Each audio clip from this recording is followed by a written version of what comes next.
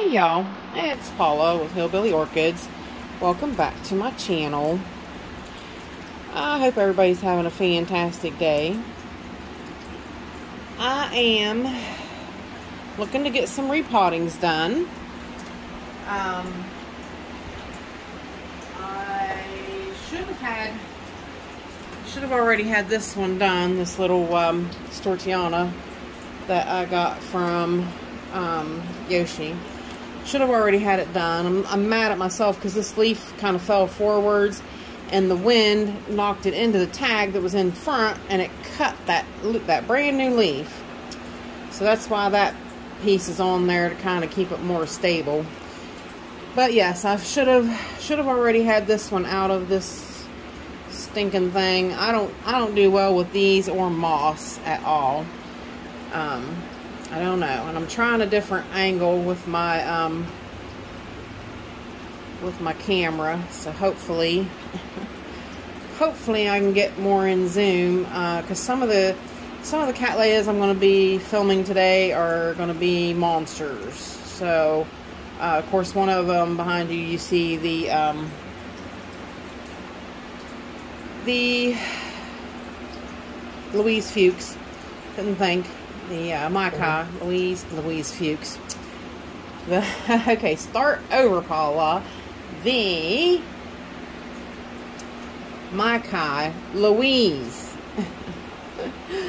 oh, mercy. I'll tell you, I'm having a day already.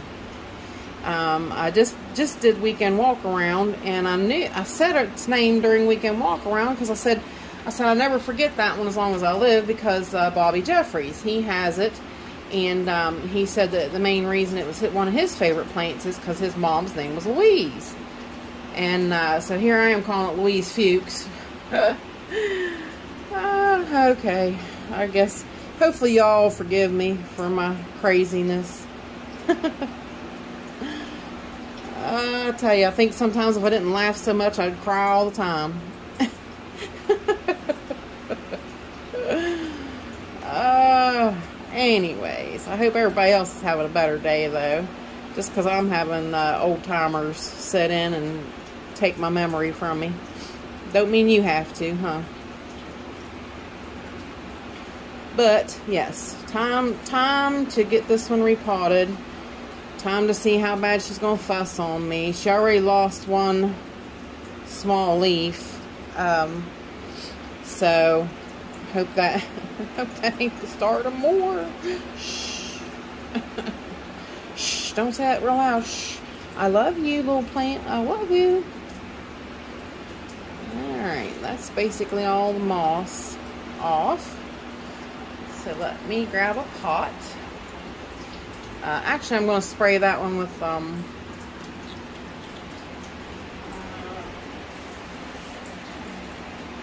spraying that one with a little bit of peroxide because I do all my new, new plants uh, that I don't, you know, that come from different places. I do that because you don't know, you know, you don't know where they came from. You don't know where, you know, Yoshi got them from. Uh, and just precautionary, you know, nothing, nothing more than that. So, spray it with 3% um, hydrogen peroxide yeah, I don't know if I'm going to like this angle. I have no room on this table, and it really makes it hard, especially when I'm trying to do bigger plants. So, um, you know, because you can't seem to fit it all in there, which really the Maikai is not, you can't fit her in there really well either. So she's kind of, kind of, that's the word I'm looking for. Yeah, kind of smushed in the screen.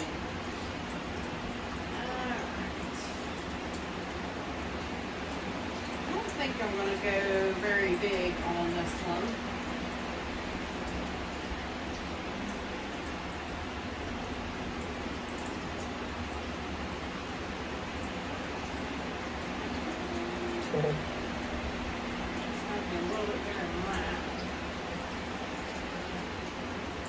I was gonna try. I was gonna shoot for a three inch, but I guess it's gonna have to be the four inch because I really wanted four inches a little too big in my book, but yeah.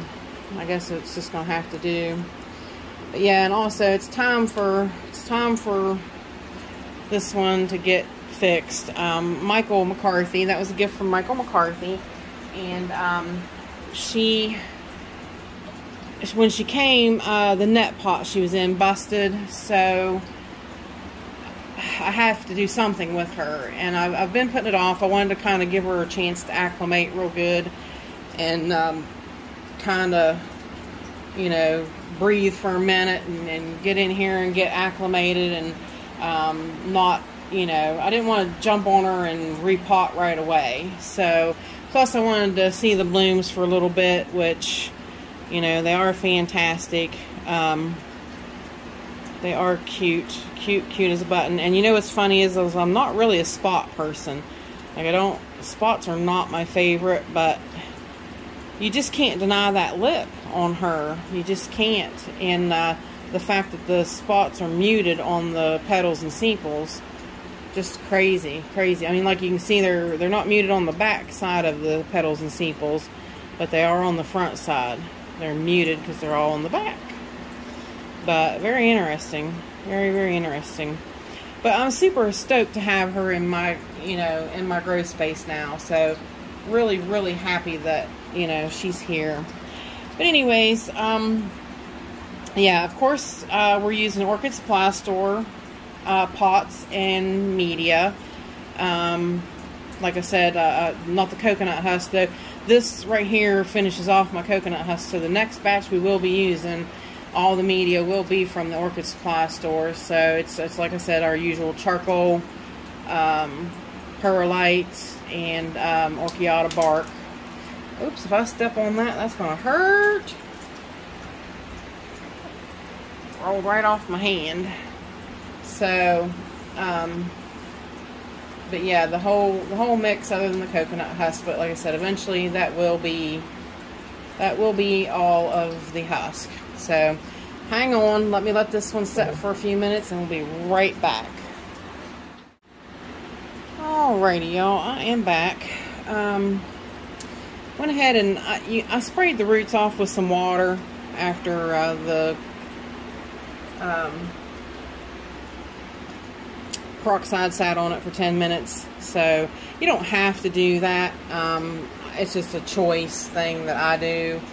It's my own, um, it's my own way. It's just, I do that way.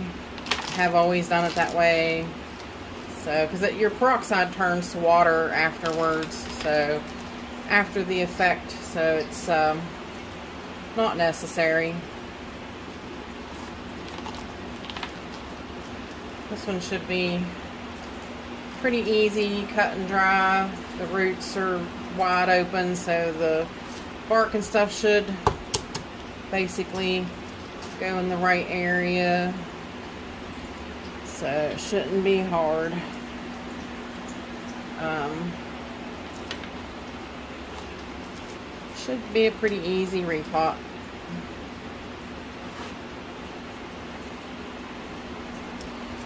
So basically, there she be.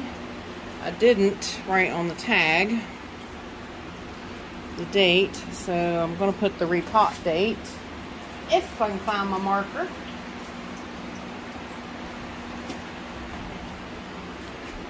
So that one is done. So let me move and get her out of the way and we'll get started on the Maikai.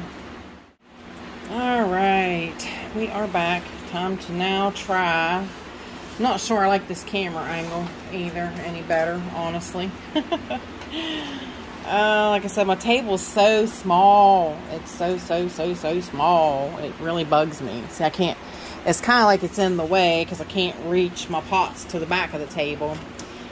But yeah, see how, um, see how the, the net pot busted. And, um, so we got to get that fixed got to get that fixed. And I think she's been here enough. Um, and like I said, the blooms have been the blooms have been on enough that, you know, if I lose them this time, I lose them. I mean, because it's just time that she really needs something done. So this time she's getting it done. Should should be pretty uh pretty easy. I actually think if I can move this this uh, media out of the way would help me. But where do I set it? Just have no space. No space.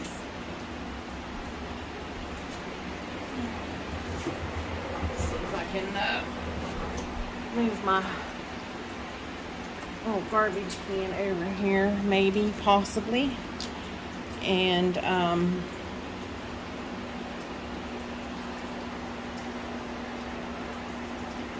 set the media on the little garbage can.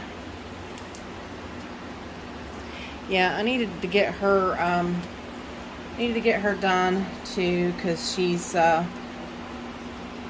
you know, the pot's busted, and I don't have her in that great a light, and I'm not, not so happy about that. Oh, I forgot that she has a, she has a rhizome clip. Oh, that could explain why she ain't coming up out of there so easy. Oh, I see how. I knew it was on there, but without thinking.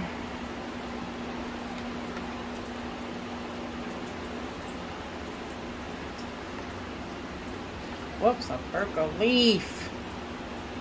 Dang it.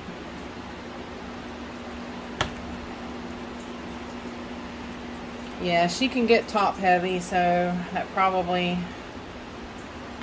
is why he used a rhizome clip because, oh boy, look at that. Big old charcoal chunks in the bottom. Hmm. Oh, and she's in uh, coconut husk too. She's in more coconut husk than anything, isn't she?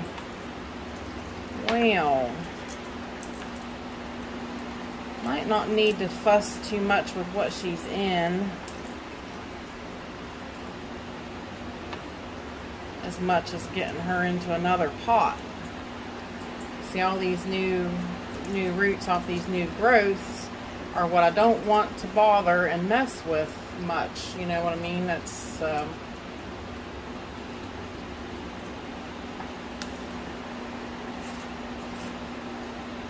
definitely what we don't want to do. I don't want to don't really want to disturb her much than I, much more than I have to, you know. Hopefully you didn't send me any frogs. I think I would have done seeing them around the grow room had you sent me any more frogs. It was so funny. One time Michael sent me some, uh, I forget what it was, uh, Cattleya something, I think. And um, a frog came all the way, all the way from Florida. Right in the potting media. Never moved It was so funny.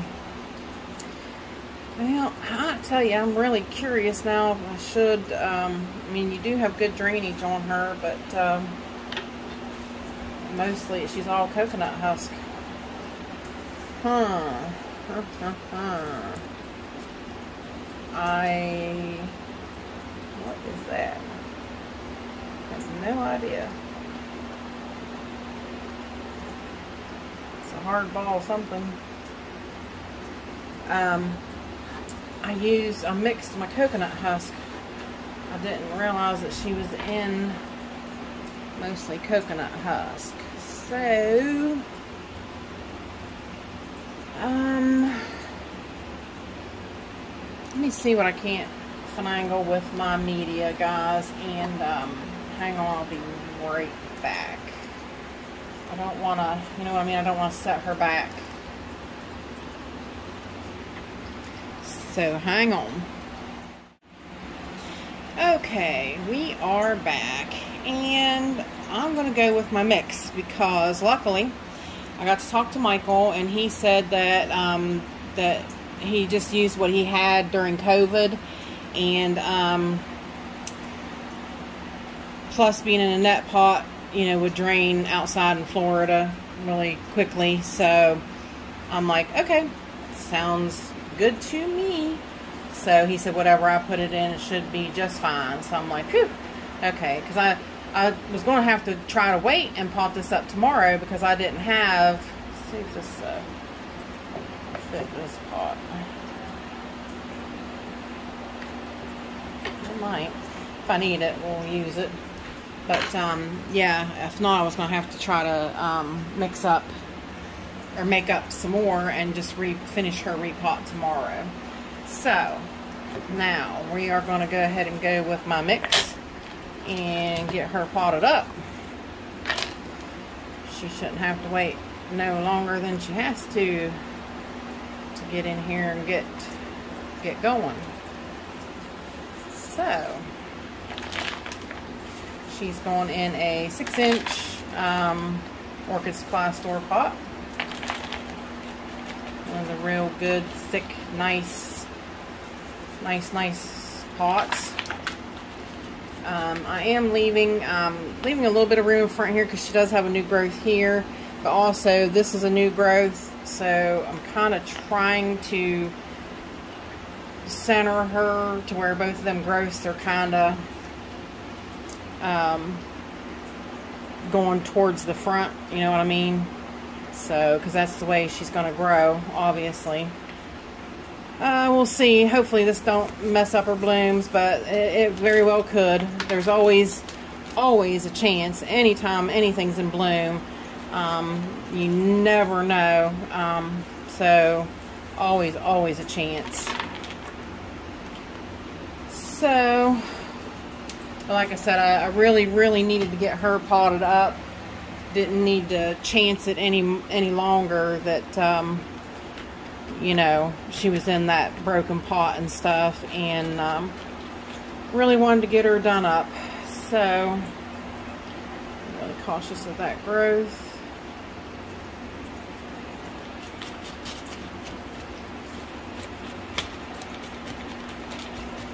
Yeah, I was a little nervous because I thought, well, he had her in moss, or in moss.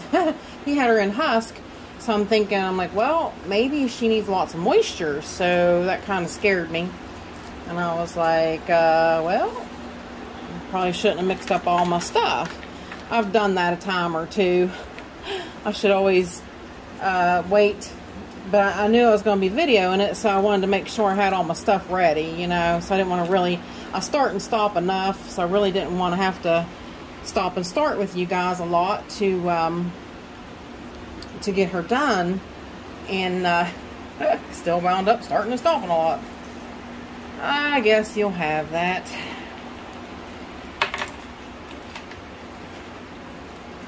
hopefully she should go ahead and take off in this pot now. Get her established and get her, I want to get her under some brighter light too. Like I said, I didn't uh, didn't really um, have her under bright, bright light. And uh, I had her set to the side because, um, you know, she did, she was growing outdoors. So anything that I have that anybody sends me that grows outdoors, I just automatically treat it. You know, I bug treat it and I quarantine it and, you know, just safe practices is all. Um, I have enough time fighting with spider mites. oh, about enough time fighting off them little, little spidey mites. So I try to avoid everything else at all costs. So, well that pretty much so looks like that's it, you guys. She is good to go. I'll get her a, a new mask and uh, yeah, she looks pretty good. So, um, get her new mask, let her get on her way to growing and doing good. So, with that said, I appreciate y'all stopping by and hanging out with me, and bye for now. Till we meet again, y'all.